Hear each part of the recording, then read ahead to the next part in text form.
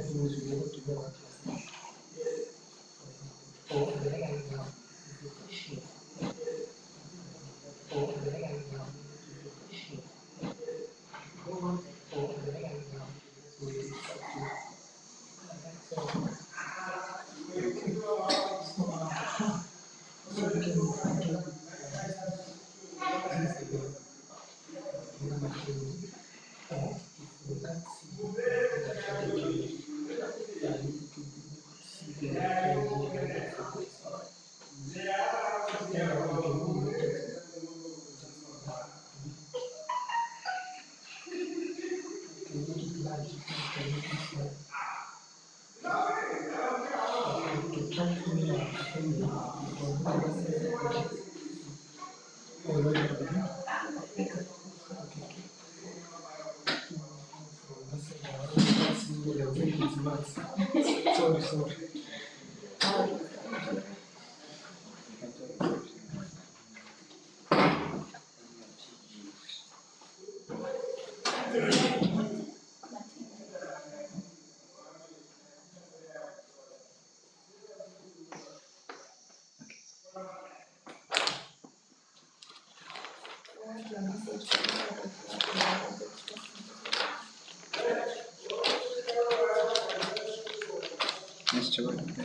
close it.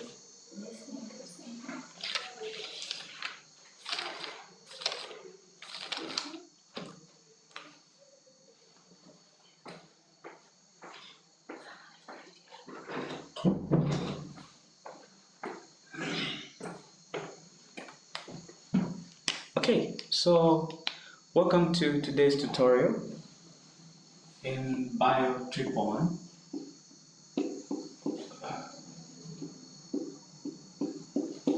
and biomolecules.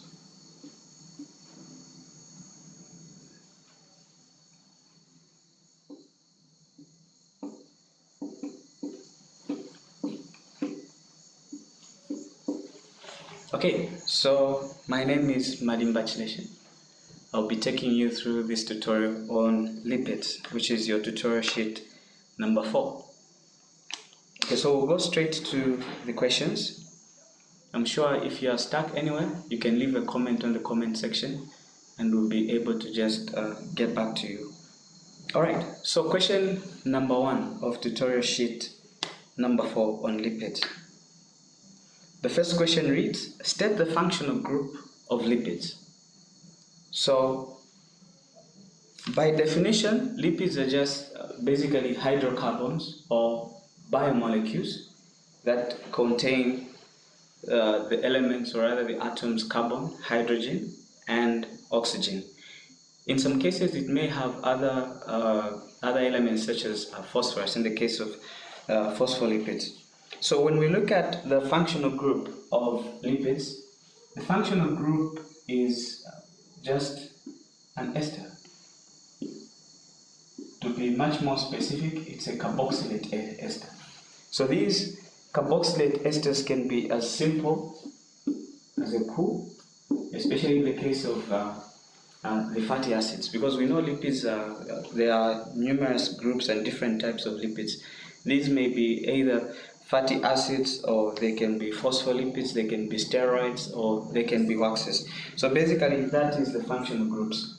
We all know from what we covered under carbohydrates to say functional groups are basically just uh, groups or rather moieties or just part of the, an entire molecule that is responsible for the chemical reactions.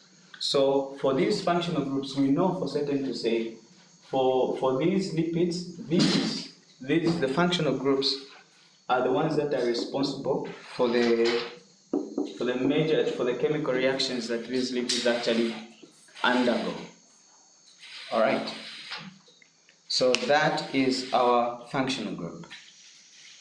Question number two. So question number two reads, state the difference between a saturated and unsaturated fats and give examples of each. So we know that saturated fats, these are fats that lack double bonds between the carbon to carbon, uh, between the, the, the, the, carbons, whereas uh, unsaturated fats have at least one double carbon to carbon bonds. I'll show you in a minute uh, what these are. So most uh, saturated, or let me say saturated fats, are usually solids at uh, room temperature, whereas unsaturated unsaturated fats are usually liquid at room temperature. So a good example of uh, a saturated fat is uh, butyric acid. We also have lauric acid. We also have stearic acid. And by structure, you know that your butyric acid has got this particular structure. All right. So your butyric acid, which is your, your, your saturated, you can see that there are no double bond, no double bonds within the hydrocarbon chain. This double bond is uh, is because this one is in the functional group. So this is your if we were to to draw this, or rather to simplify it, it your butyric acid would look like this.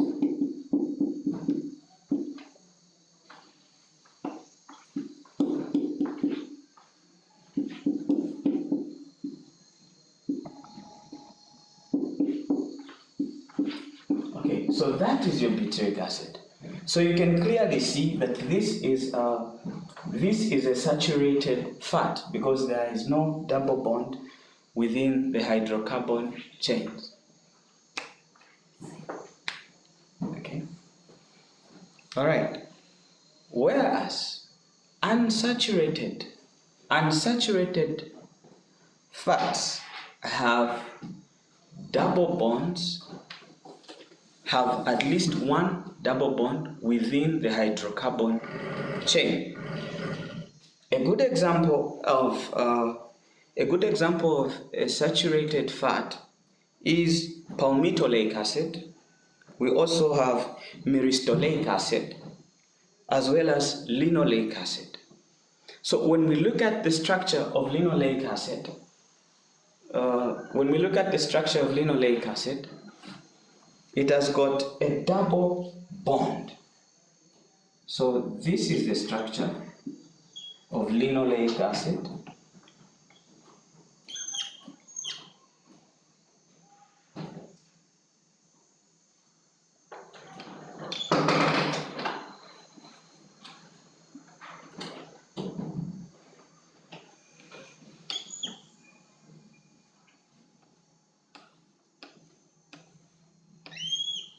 So that's your structure of linoleic acid. So that's your structure of linoleic acid. So you can clearly see, you can clearly see that it has got two double bonds.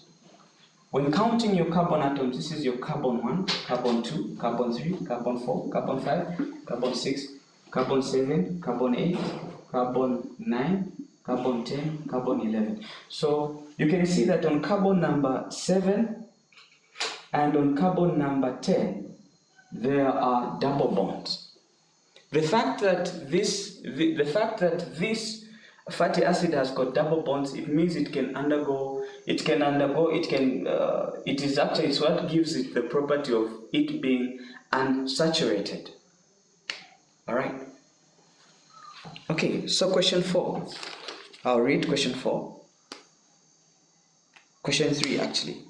Question 3 says define the terms define the terms hydrophilic, hydrophobic and amphipathic. Okay. So I'm sure we covered uh, this in, in, in the other tutorial on water. But because we are, we, are, we are also dealing with lipids, I feel we need to get back to it and just really define what it is. All right.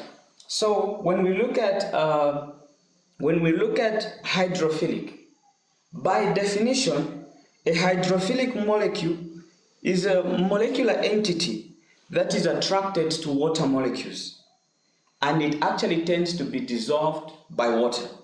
So you can clearly see that since water is, is polar, when we covered water, we discussed that water is polar, meaning it has got two charges. It has got the it has got an electronegative uh, oxygen atom and has uh, a positively charged two positively charged hydrogen atoms. Because of this polarity, it's able to attract other other other other polar molecules. Now, when we talk about uh, hydro hydrophilicity, this is just the property of a particular substance to be dissolved by water because of its uh, polar nature, because of its polar nature due to the charges that arise within the molecule.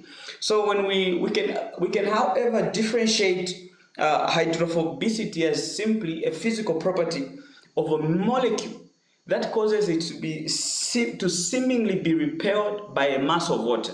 So in a situation where we can have um, in a situation where we have maybe just water in a in, in a maybe in a cup or in a in a drum, there are certain molecules which when you put in your in your water, these the first thing is they they will not be attracted to they will not be attracted to water. They are repelled by the mass of water. In the case of some, uh, in, in, in the case of fats, because we know that fats are simply hydrocarbons and these are actually insoluble in water. So what will happen is if you have a known mass of water, your, your fats will just be your fats will just be floating on water because they can't be dissolved and they, they are more like water hating. So when you look at hydro, uh, hydrophilicity, or rather hydrophilic uh, molecules, these were taken from uh,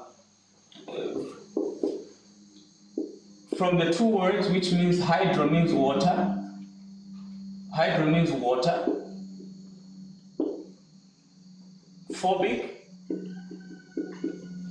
means fear from the Latin. All right, so everything that is actually hydrophobic is water fearing or water hating whereas everything that is hydrophilic is water loving. All right. Then we also have uh, most when we when we talk about hydrophobic hydrophobic uh, hydrophobic molecules, these molecules are usually non-polar. All right, because we discussed the property of water, where um, the property of water where this has a positive charge and this has a negative charge. So everything that is non-polar fails to be attracted to water. All right. Do I have a marker? Do I have uh, something to erase the board? Okay. You can get me something from Dr. Malik. Oh, that can. Okay. So the other term that we are defining in, in question number three is amphipathic. Now, when we talk about amphipathic, an amphipathic molecule is a molecule that has both a hydrophilic and a hydrophobic region. Some of the key terms that you need to understand uh, that are related to this is zwitterion, others call it zwitterion. So when you define a zwitterion, a zwitterion is simply uh, a molecule that has got two different uh, charges, where there's a positive charge and a negative charge. So, but when you when you look at um, amphipathic molecules, these are molecules that actually have a region which is hydrophilic and a region which is hydrophobic within the same molecule.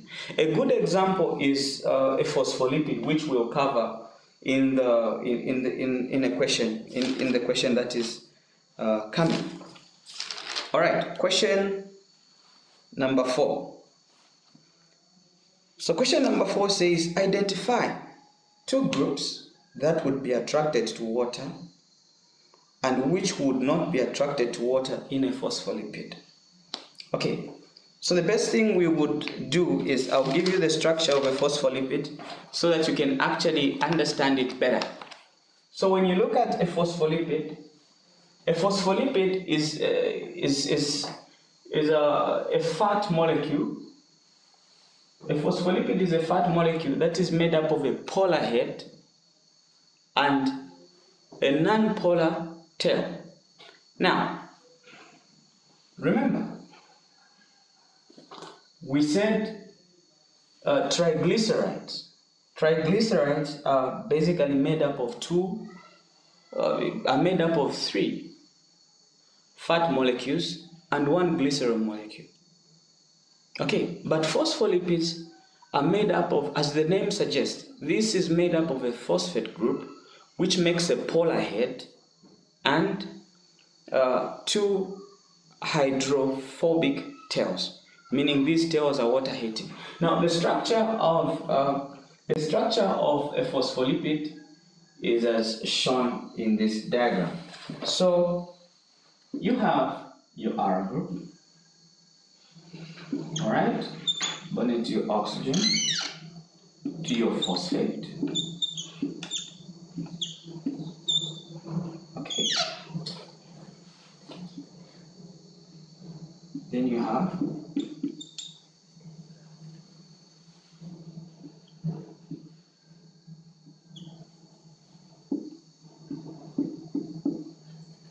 simplify so that you can actually so that you can see the structure easily. Okay.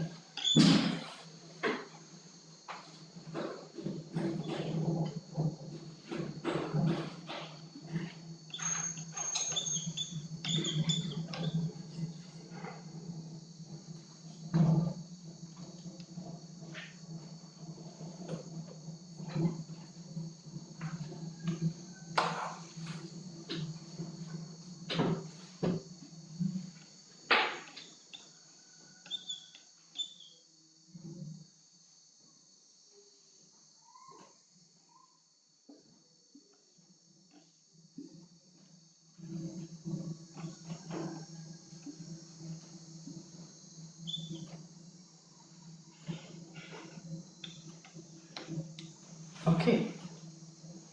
So, this is how a phospholipid looks like. By structure, this is how a phospholipid looks like. So you can clearly see that this has this, this is your polar head. This is your polar head.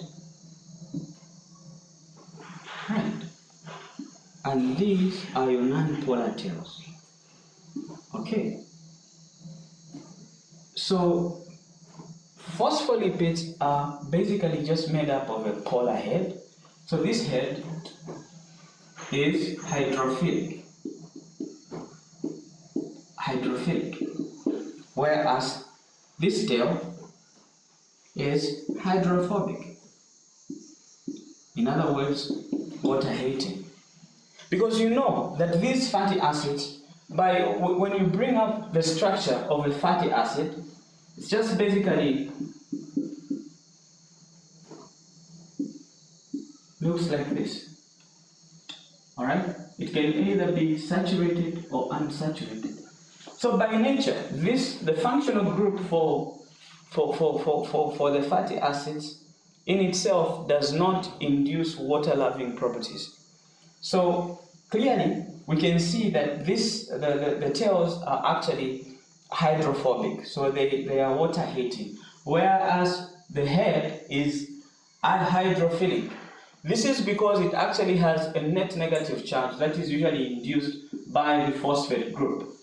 All right, so the first, the phosphate groups gives it a charge which makes it be attracted to water molecules. All right, so it gets attracted to, to water molecules because of the charge.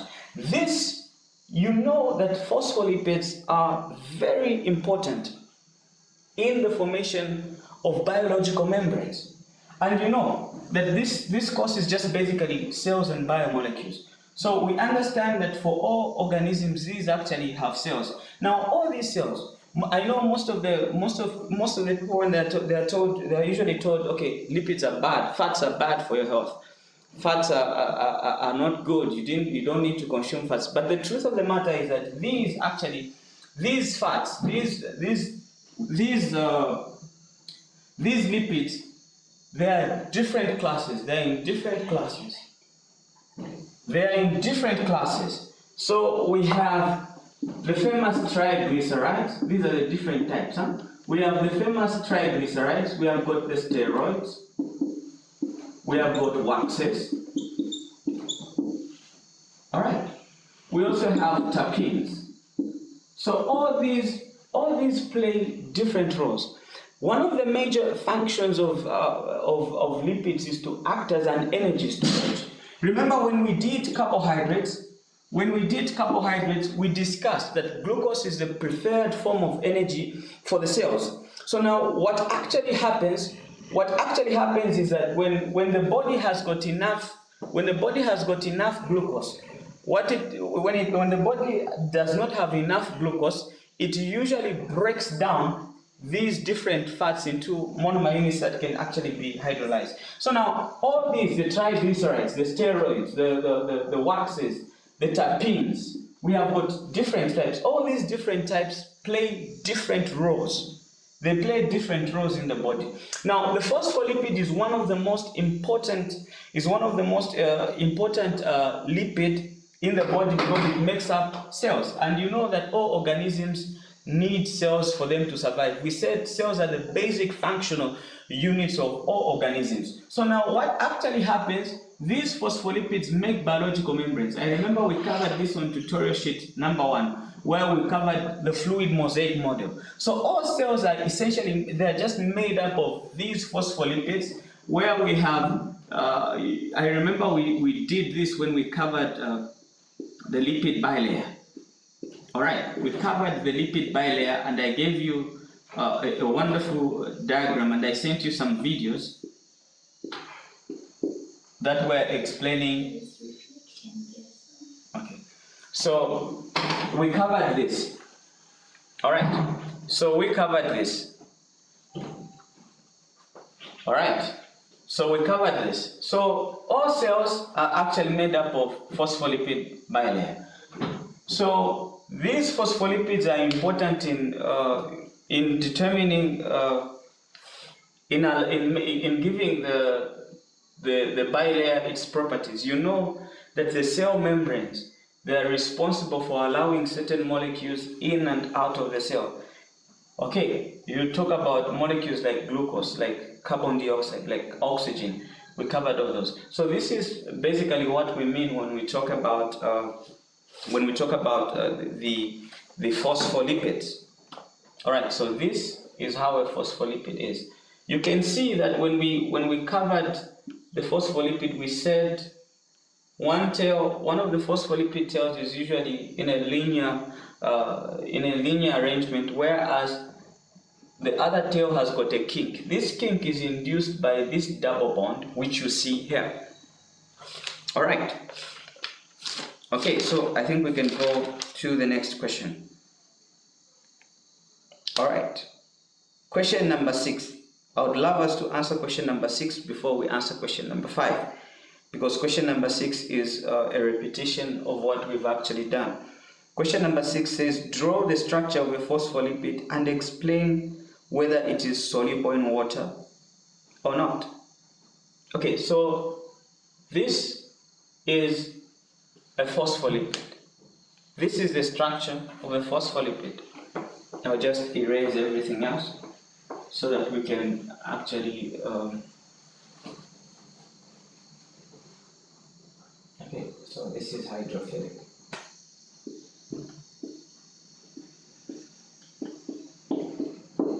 Okay. So that's a phospholipid. It has got a hydrophobic region and hydrophilic region. Okay. So the question is is a phospholipid soluble in water? The answer is no. Phospholipids are not soluble in water. Okay, the reason is simple. It's due to the hydrophobic tails or the hydrophobic regions, which are usually repelled by a mass of water. So, what actually happens when you look at when you look at even just the membranes, the polar head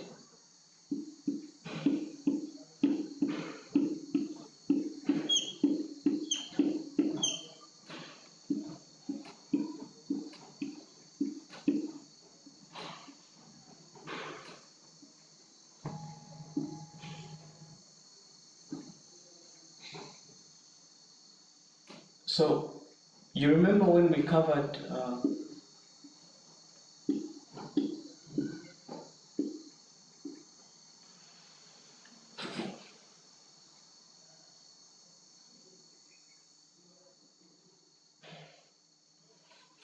Okay. So this is your your hydrophilic side which loves water. So what actually happens is the heads usually face the side where there's water. Okay. Whereas the tails face away from the water.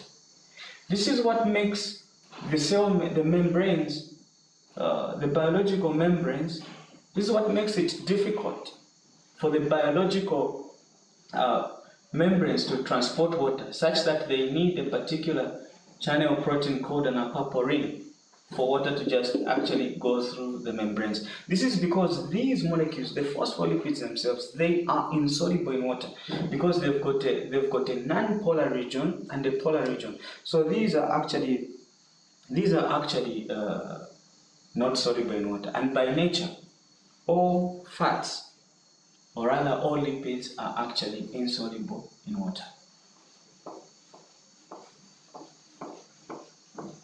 Okay. We can move on to question number five.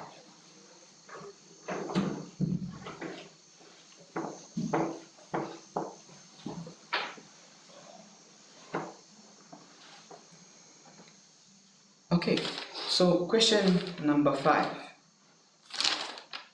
Question number five reads Illustrate and explain how a triglyceride is formed.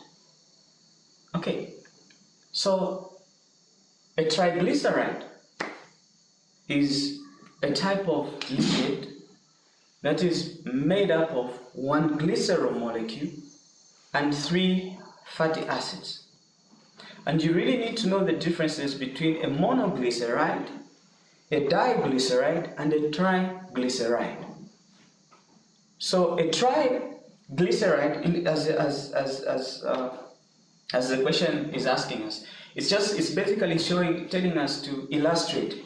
Now, every time you ask the question to illustrate, it it it it it it's, it is requiring you to actually show what is actually taking place.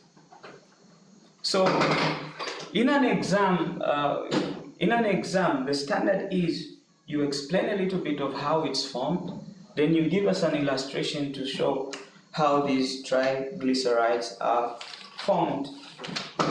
All right. So, what happens is a glycerol molecule. This is glycerol.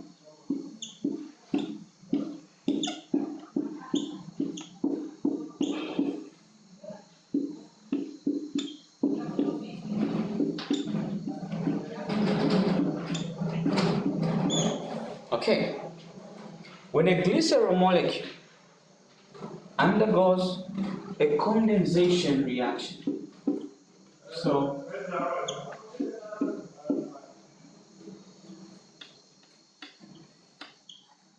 we have this fatty acid. We have a second fatty acid. Remember, the sequence does not really matter because we may have one fatty acid which is saturated Then we can also have maybe another fatty acid, a fatty acid which is unsaturated. And the third one can be either saturated or, uns or unsaturated.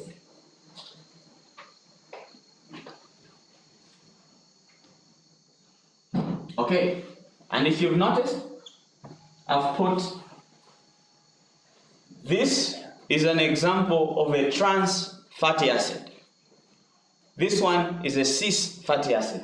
So, but all of them are basically just, and uh, these are basically just unsaturated fatty acids. So the chains, uh, the, the type of fatty acid, we can have different types of fatty acid. We can have maybe a fatty acid with 18 carbon atoms. We can have a fatty acid with uh, maybe 20 carbon atoms. Remember, the sequence doesn't really matter. What matters is the, the, the, type of fatty acid. The particular fatty acid can, can be the first fatty acid, for instance, maybe linoleic acid, or maybe the second one can be stearic acid, or it can be any other uh, fatty acid. So what actually happened? Remember, we defined condensation reactions when we were dealing with carbohydrates as simply uh, the, the, coming together of two monomer units. In the case of carbohydrates, we talked about uh, monosaccharides coming together, undergoing a condensation reaction, which is basically two monomer units coming together and water is expelled out of the system. So in a likewise manner, we've got a glycerol molecule and three fatty acids. So what will happen, a condensation in other terms is just simply called a dehydration reaction. So what will actually happen is when these, when these fatty acids react, remember, we said it's the functional groups that are responsible for most of these, uh, most of the chemical reactions that these fats are going, that, that these fats undergo. So this, we know that this is the functional group this is the functional group for the fatty acids, whereas the reactive group, or rather the functional group in this glycerol is basically the hydroxyl groups. So what will happen is a water molecule will, the first water molecule will be expelled out of the system through the condensation reaction because it's dehydration. So it will be given out, all right? In the same manner, this water molecule will also be what? Be given out as well as this third water molecule. As these water molecules are expelled, an ester linkage is formed between these individual fatty acids and the glycerol molecule. So what we'll have, what we'll have as a triglyceride is what I'll show in a minute. So what will actually happen is these guys will, will form an ester linkage, right? All right. Okay, so now that is an example of a triglyceride. That's an example of a triglyceride. Okay, to differentiate it from phospholipid we talked about phospholipid having two fatty acid chains and a phosphate group on the first carbon. All right. Okay, so that's how you illustrate the formation of triglycerides.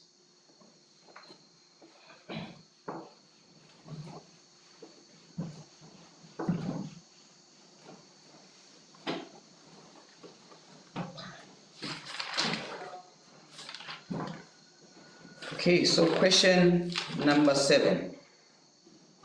Question number seven says, list the different types of lipids and state their function.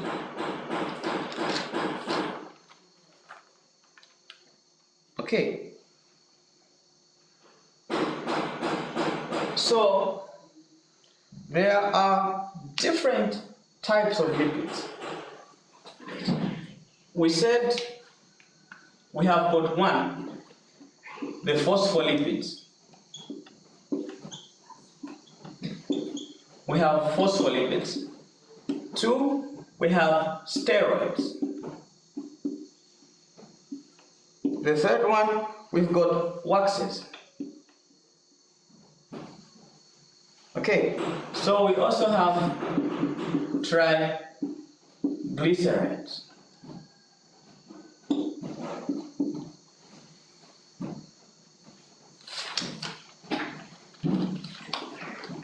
Okay, we can also talk about some sphingolipids.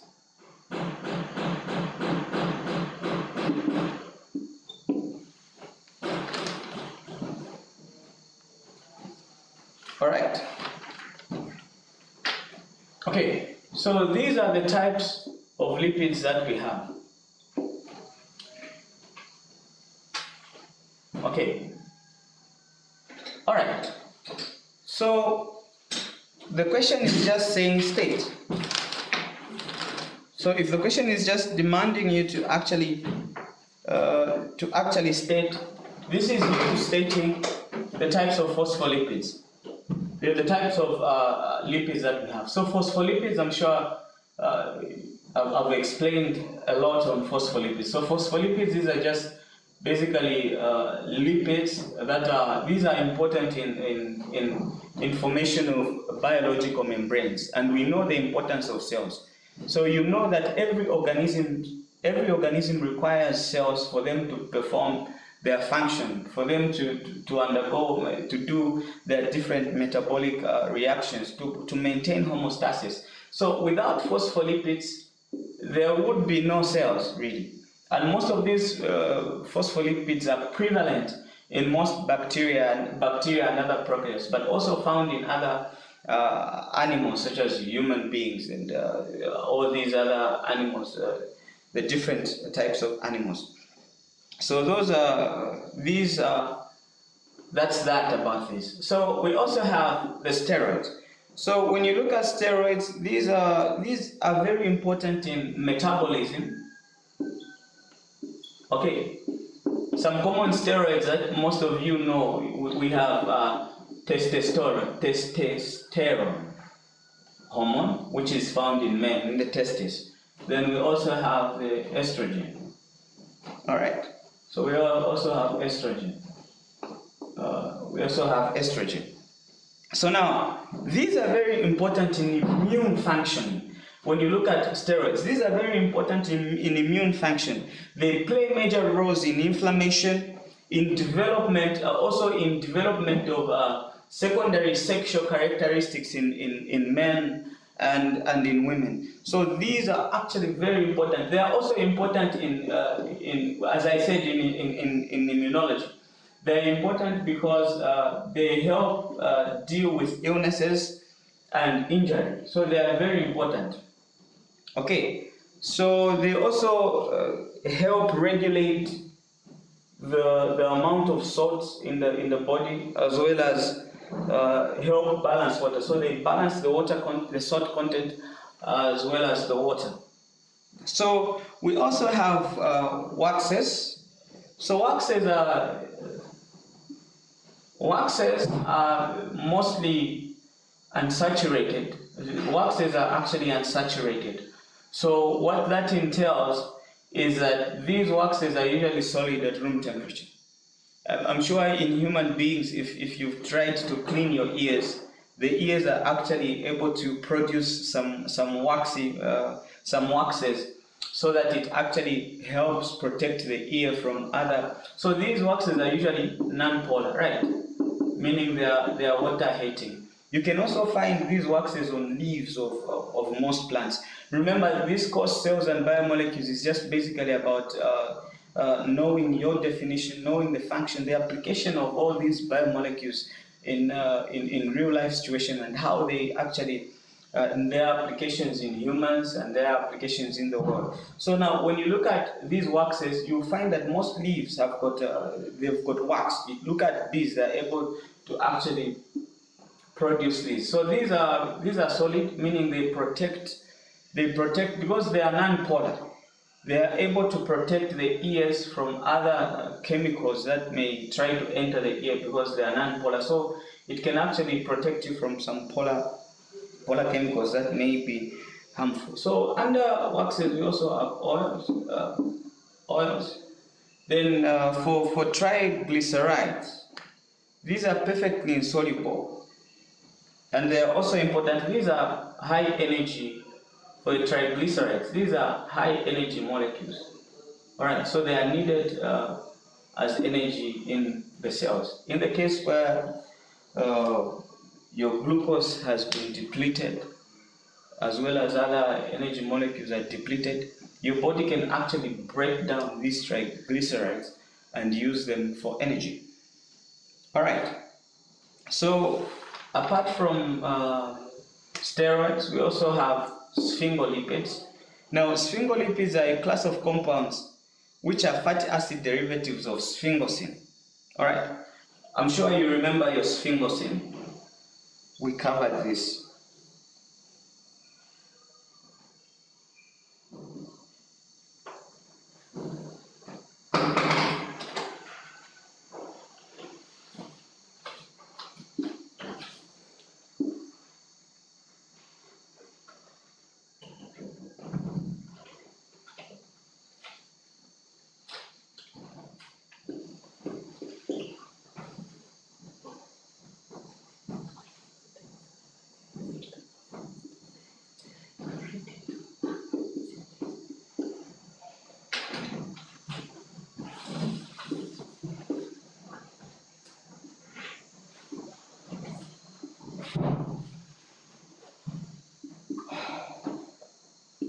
So we covered uh, we covered sphingosine.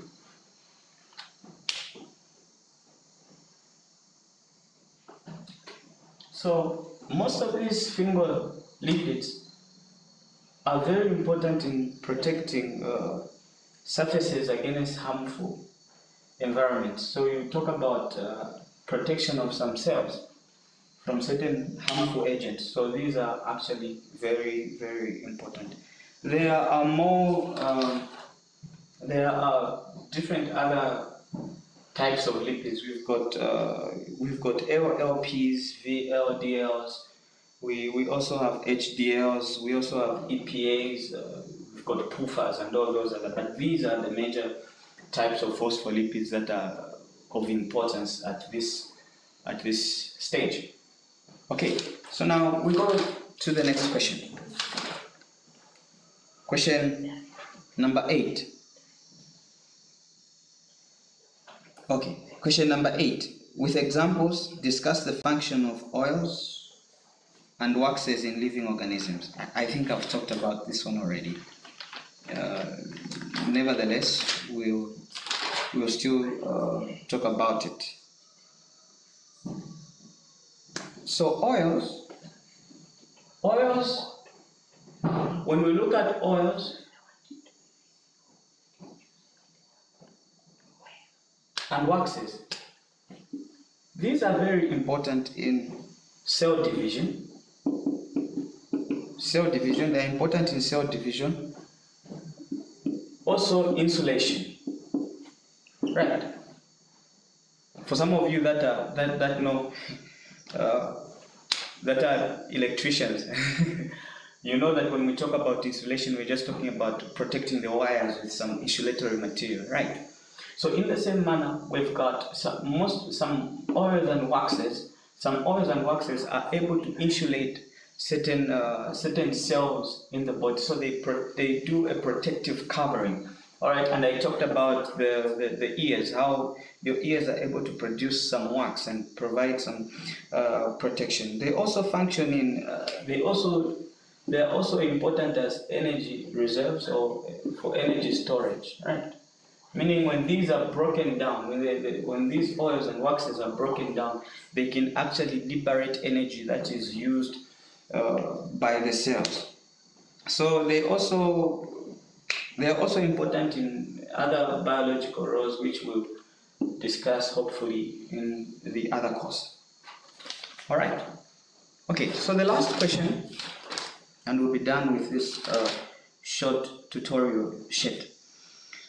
The last, the last question says, describe the common chemical tests used for the identification of fats and oils. So when you, I'm sure you've already covered uh, this question with in the labs with uh, Mr. Mnalola, where you did uh, the test for, for, for lipids.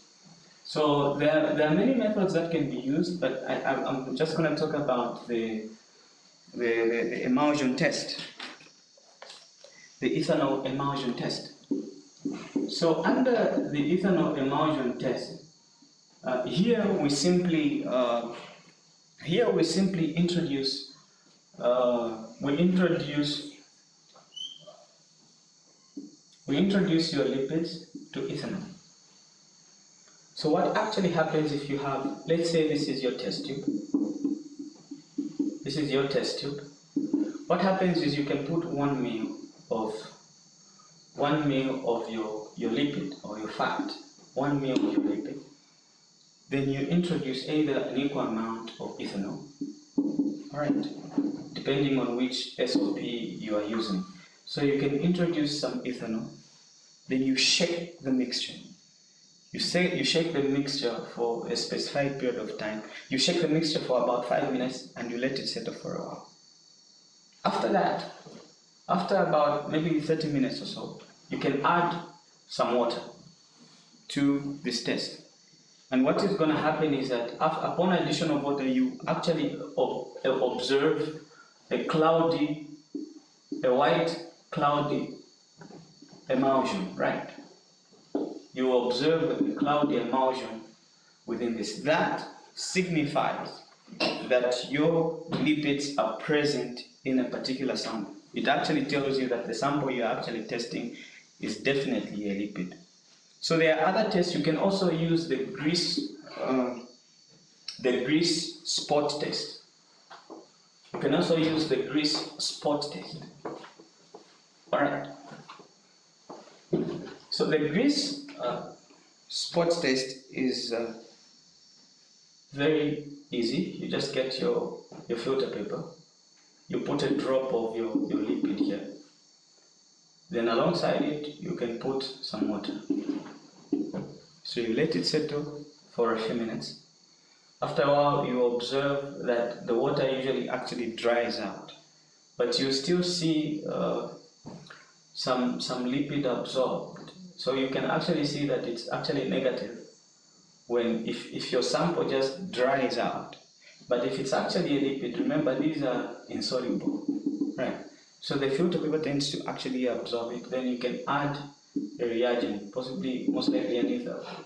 You actually add an ether, then you see it actually spread out, and that's you can actually confirm to say this is actually uh, a lipid. So one other important uh, uh, thing that you need to know about uh, fatty acids is there are what we call essential fatty acids and non-essential fatty acids. Uh, essential fatty acids are fatty acids that your body cannot generate. You actually need to uh, get these from a diet. Most of these are, are, found in some, some fishes and, and other sources, usually of uh, plant origin. Okay, so these essential fatty acids, your body cannot generate them, so you need to get them from your diet whereas non-essential fatty acids are fatty acids that your body can generate on its own. Okay, that being said, that is the end of uh, tutorial sheet number 4. So see you on Friday when we'll be tackling another tutorial sheet. Have a wonderful, wonderful day. If you have any concerns, any any anything that you did not understand, leave a comment on the comment section and we'll get back to you. Thank you.